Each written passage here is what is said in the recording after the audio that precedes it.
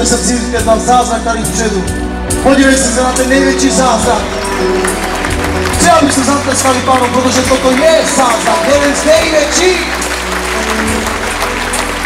Každou, ne- každý týden, každý den jsou lidé spasení tady. Podívejte se na to, jak Bůh přitahuje lidské srdce. A víte, co je ten, to nej, ta největší trofej pro mě, pro kazatele? Právě toto tady vpředu.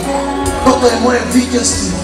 Když vidím, jak lidé vychází z pekla, vychází z lží satana a přechází z té tmy do království světla, kde On, Ježíš Kristus, je Pán. A peklo je vylitované. Lidé vychází. Víte, o co tu je církev? že lidé každý den umírají.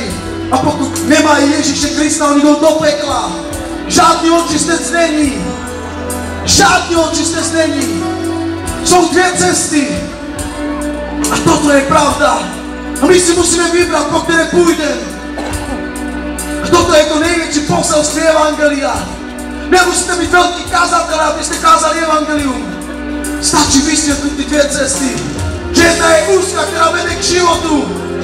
A jedna je široká, která vede do záhuby. A dát lidem na výběr. Buď ďábla nebo Ježíše. Já vám říkám, že je čas probuzení. Je čas deště a sklísně. Pole už je bílé. Je čas brát. Vyjděte. Nečekejte. Běžte. Svolávejte, křičte.